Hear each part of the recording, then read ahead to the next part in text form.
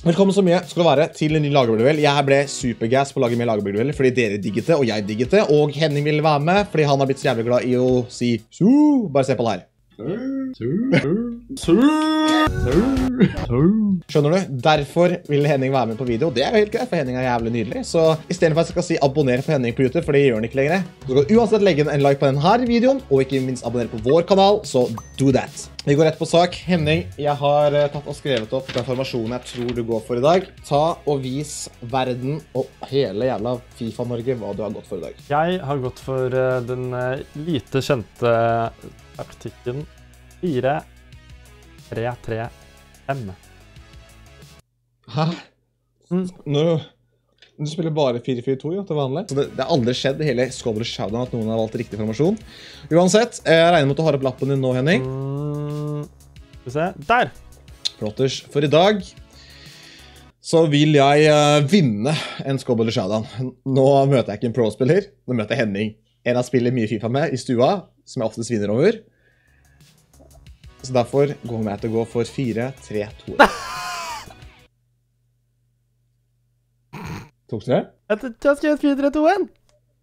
Det er to ganger til og med. Det er jo faktisk historisk, fordi nå for første gang har noen valgt riktig formasjon. Så det vil bety at, at da, ut fra reglementet så skal vel han nå få lov til å bestemme informasjon. Er det ikke sånn uh, kommentarfelt? Hvis det er feil, kommenter det. Hvis det er gjort noe feil her nå. OK. Uh, men ja, da tar jeg utgangspunkt Da skal du faktisk bestemme formasjonen min, Så har du en formasjon du vil jeg skal gå for? Ja. Okay. 3, 1, 4, 2. Hva da 3, 1, 4, 2. Det er formasjon 1 av 30. Ja, dæven, du vil jeg skal være offensiv, ja? Det blir jo jævlig vanskelig å linke opp de greiene her, da. Det var det jeg tenkte. at Det er litt sånn vanskelig å vans gjøre Nei, faen, det gjør det egentlig bare vanskelig for meg sjæl på alle mulige måter. Det blir vanskeligere å gjette, og det blir vanskeligere in game. Nei, det blir jo lettere for deg å gjette.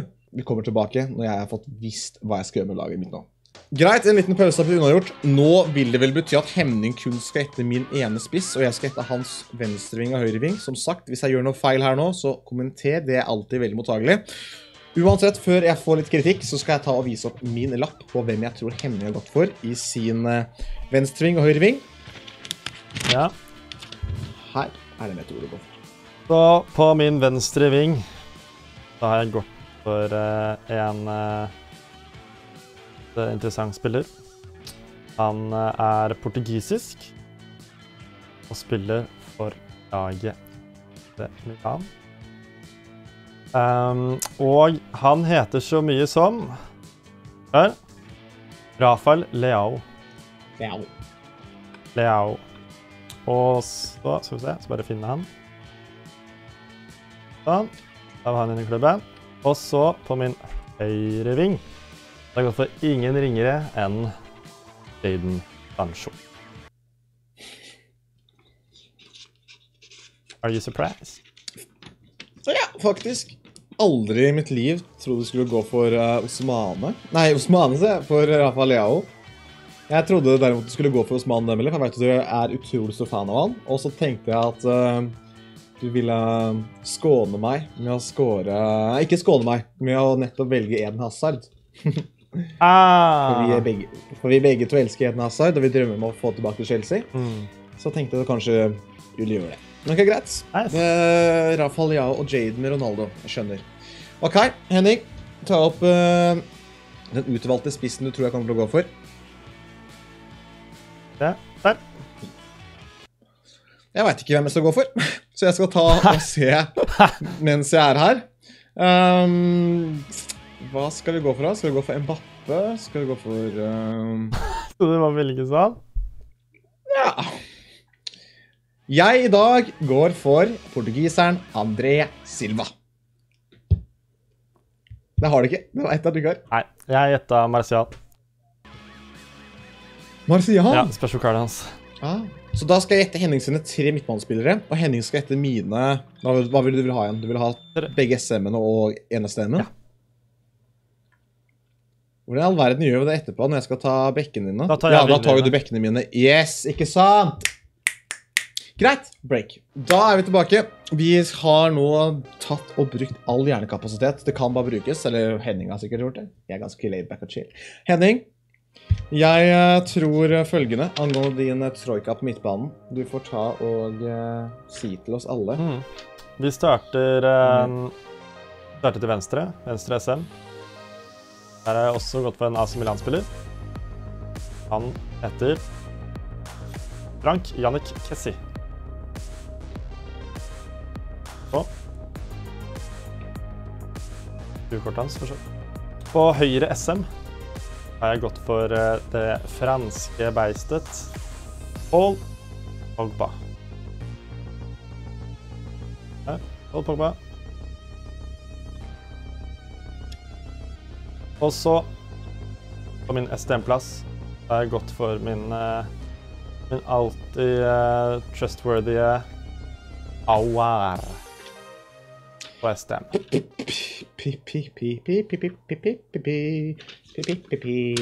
Jappaha. Tror jeg har tatt noe. Kanskje Pogba. Mm. Du kan te istedenfor. Jeg, jeg skrev Bruno kan te Tonali. Så jeg ah! så på Kessi, tok Tonali. Så på Pogba, tok uh, Kanté. Og så tenkte jeg også Bruno. Så. Way to go, lads! Way to go! OK. La oss snu det om her nå. Okay, Dette er det. Jeg jeg gjettet. Uh, ja, eh, Ronaldo trenger links. Uh, han trenger strong links også. Eller vet du før vi tar Ronaldo, så skal vi faktisk ta den som må linke opp um, godeste um, André Silva. Det er nemlig Danny Almo, En spanjol. Han er ikke så rask, men han har gode kvaliteter. Han har bra arbeidsrate. Arbeidsmengde er middels høy. Det er viktig for meg nå med tanke på formasjonen her. Og han er teknisk, han er god, han kan sentre en ball, så jeg tror han kan være veldig viktig. Um, Deretter så går jeg på høyre SM-en. Der har jeg gått for en som må linke opp Ronaldo, og her har vi gått for my um, My good Bruno Fernandez, som jeg fikk uh, packet i sånn to dynaminer, som um, Ja, han er god, han. Og på STM-en så trenger jeg litt mer defensivt. Jeg trenger nemlig ingen andre ringere enn min Ngolo Kanté, flashback, som jeg ikke har spilt en kamp med, så det blir gøy. Ok. Jeg tenkte ikke at du skulle ta Daniel Mo. Jeg tenkte jo Nkunku. Det er crazy bra, det kortet hans. Yes. Og så da drev jeg og så på Bruno, da. Men jeg tenkte at du går for Pogba pga. skills. Hmm. Jeg gjetta Pogba. Og så Du har tatt Kanté. Jeg, jeg, jeg hører på deg. at du har tatt Kanté. Og så har jeg tatt Kanté! yes! Det er kanskje den aller viktigste spilleren i den formasjonen her, fordi jeg trenger defensivt skyts. Men ok. Greit. Hit på Henning. Da må jeg tenke andre baner. Eh, I mellomtiden så må jeg eh, finne nåla i høystokken med å eh, tenke hva Henning har gått på sine bekker, mens Henning skal ta minen VM og HM. BRB. Å, fy faen, se! På football-lenka mi har jeg tatt Pogba på høyre. Men jeg bytta den ut. Har du? Nå begynner det å innspisse seg litt her. Henning har truffet én med at han tok og valgte min Ngolo Kanté. Likevel, om jeg fikk feil med tonallista, så eh, har jeg tatt opp følgende lapp på din venstre og høyre bekk. Jeg er 99,9,9,9 sikker på at jeg har riktig, fordi jeg klarer ikke å se åssen i all verden du har klart å velge noe annet. Lykke til. Jeg på min venstre bekk Alt troverdige Flinke Hernandez. EO.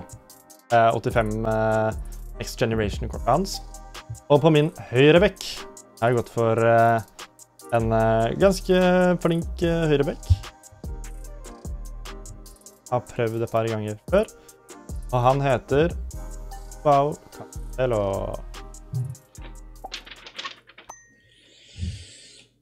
Åh, du vet. Altså, du, du visste at du, du visste at han skulle treffe på venstrebekken. Du skjønner det sjøl? Det sto mellom Theo eller at du kjøpte Petit. Skjønner? Det eneste du kunne gjøre, tror jeg. Med tanke på Nei, ikke det heller. Fra Kessi. Ah. At du valgte Kessi, var egentlig helt skivebom fra meg. Men. Jeg, var- jeg har skrevet opp Theo, og jeg var Jeg har en høyrebekk som er til City, med navn Kai Walker. Det verste var at jeg skulle egentlig ta Kyle Walkers, men jeg ser at det laget, laget jeg hadde skrevet opp før, var feil. Jeg la merke til nå at jeg skulle egentlig ta Kyle Walkers, men jeg gikk for Cancelo. Jeg merker at blodsukkeret mitt eh, blir bare mer og mer lavt når jeg lukter hvor god mat Cecilie har laget nå, men eh, det får vente. Før det så skal jeg ta og plotte inn min HM og VM. Henning, vær så god, ta opp lappen nå. Ja. ja.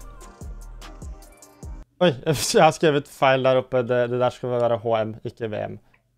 VM, HM. Ja, dere skjønner. Jeg har skrevet feil. Jeg den norske og engelske LM og VM. Men det holder den opp. Det kan gå fort i svingene. Du nevnte jo i stad at øh, jeg uh, burde velge skillmoves, og det har jeg gjort. Har prioritert. Jeg har uh, gått for uh, min røde Hakim Ziyech baby på HM. Og på VM På VM jeg går på Bundesliga, og der skal jeg bruke en som skal springe og strekke deg. Og han heter også Eller han, er, han heter ikke også, men han er også rød, og han heter Moussa Diaby. Han springer fort, bror. Så Moussa Diaby på venstrevingen og Hakim Ziyech på høyrevingen. Veldig fornøyd med fordelingen. Jeg tror det her kan bli et veldig bra lag, faktisk. Diaby slår innlegg, mot to, og Hakim strekker seg inn og skyter det lengste. Fordi du har ikke valgt noen av de. Jeg har skrevet opp på min lapp Diaby og Sala. Enda en! Yes! Diaby og Sala. Jeg gjetta Diaby. Hører du isbilen? Nei, Vil du ha is, Henning? jeg vil ha to is. Jeg vil ha to is. The last dommeday of the days of the utvelgelse. Jeg ligger under 2-1. Men uh, nå så kommer jeg til å være Nå kommer jeg til å ha 200 IQ, tror jeg, på, min, uh, på mitt utvalg av spillere. Før du skal få svaret på det, så skal jeg ta og skrive opp ikke skrive opp, men jeg skal vise hvem jeg tror Henning går for i dag. Så det her er mine tre utvalgte spillere til Hennings to midtstoppere og keeper. Henning Kjær. Jeg starter med første venstre center back. Jeg tror du, tror du, tror du har skjønt den her. Det er uh, ingen ringere enn Impembe. Redd for den. Og på min høyre midtstopper har jeg gått for Det er en franskmann, det også. Og jeg har ikke prøvd han ennå, så jeg gleder meg til å se hvordan han er. Og det er Onate. Rahima, er det ikke det? Og så Hørte jeg noen lyder her. Og så min keeper, da. Litt selvsigende. Georgi.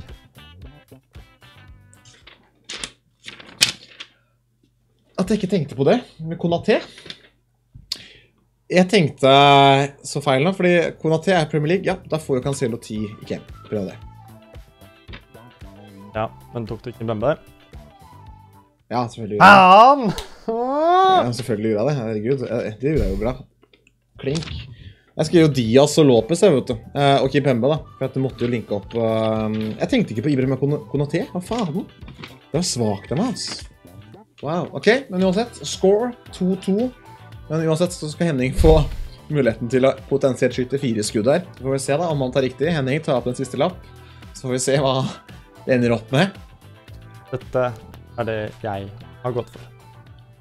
Ja. Uh, vent, da. Jeg må bare tenke hva jeg gjorde igjen. Vi tar den uh, kjedeligste først, da, for jeg veit han har det ikke riktig. Min høyre midtstopper er Rio Ferdinand. Min eh, midterste midtstopper er Konde. Min venstre midtstopper er Endika.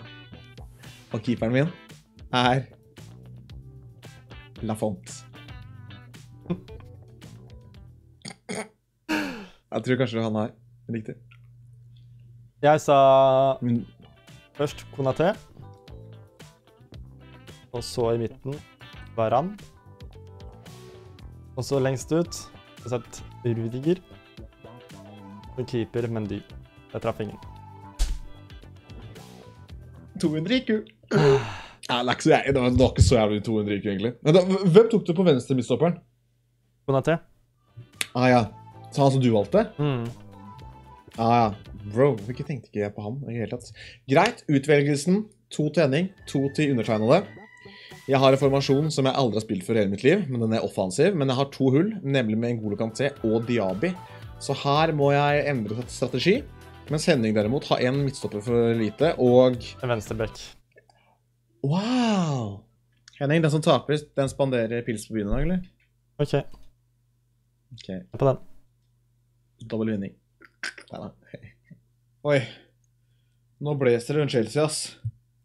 Ja, så det jeg sendte deg, eller? Når da? I stad? Ja, At vi mister hovedsponsoren vår? Oi, kom det nå? Ja. Å, fuck. Kan jeg bytte Nei, jeg kan aldri bytte inn folk fra benken, sant? Nei, er du klin gæren, eller? Altså, hvorfor går det så treigt, da? Ja, det går jævlig treigt. Hva er klokka nå, da? Det er sju, altså, selvfølgelig. Alle er på serveren nå, vet du. Fy faen, det går møkktreigt, bror. Det er sementrekk, liksom. Nei, kom an. Uh! Faktisk. Uh! Ja, det var kanskje så men. Hvem er det for noen? Da Silva? Å, det var jo han femtepasten. Han var svingod, jo. Da Silva har jo vært god for dem, da. Uh! Nei, Lagbjørnduell, det der er jo dårlig, ass, lads. Jeg kommer alltid til å vinne en Lagbjørnduell hele mitt liv, jeg. Aldri. Jeg Kommer aldri til å gjøre det. Jeg vinner ikke mot deg engang, Henning. Ja, du har ikke spilt neste spill engang. Da Silvaen din har jo vært helt jævla god, bro. Jeg ga deg en klassespiller, hva faen? OK, der ser du svakheten hans, da. Da er det fortsatt ikke å skåre. Ohoho, Magnan!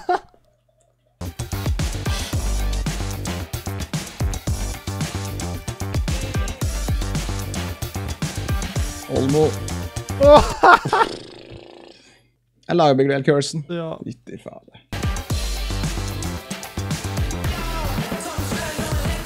Nei, det er det ikke. Jeg klarer ikke å time, bro. Fader, ass. Herregud, jeg, jeg gir opp nå, ass. Jeg skjønner ikke. Jeg taper hver flippens lagburgerduell. Jeg skjønner ikke hvor Chat. eh, Kommentarfelt. Hva er det med å gjøre, bro?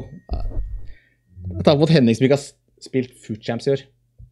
Uh, Nei, greit. Nå gjør det her raskt og gærne igjen her, uh. Vet du hva, samme hvem du vil Samme hvem du velger nå, samme hva jeg mister. Nei, ikke Rio. Det vil ikke helst miste. Greit. Jeg, um, du vet opp opplegget her nå. Nå skal jeg på en måte ta og um, rokere spillerne. Mm. Um, og så får du Du vant med to mål, så da får du to shots. Ja. I know where to go. Uh, skal se, Ikke Dinjo Dudes, men vi skal på SPD Zoo.